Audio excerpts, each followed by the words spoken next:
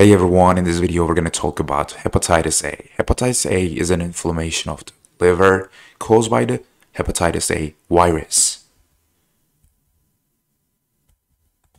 After the hepatitis A vaccine became available in 1995, the rate of hepatitis A infections declined by 95% in the US. The virus is primarily spread when an uninfected and unvaccinated person ingests food or water that is contaminated with the feces of an infected person. Drinking untreated water, eating food washed in untreated water can also cause the symptoms and the virus. When traveling in a developing country, drink bottled water. Use bottled water to brush your teeth make ice cubes, and wash fruits and vegetables.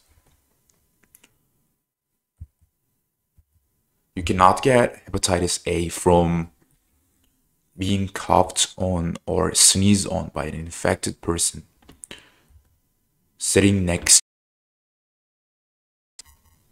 hugging an infected person. These are respiratory transmission. For hepatitis a we have fecal oral transmission Symptoms of hepatitis A develop abruptly. Initial symptoms include nausea, vomiting, anorexia, fever, and right upper quadrant pain.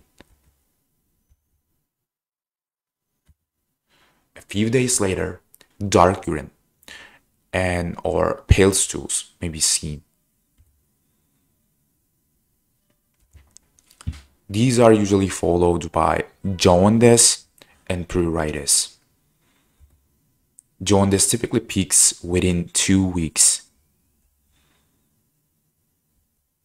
Unlike other types of viral hepatitis, hepatitis A does not cause long-term liver damage. This is important and it doesn't become an ongoing chronic infection like a hepatitis C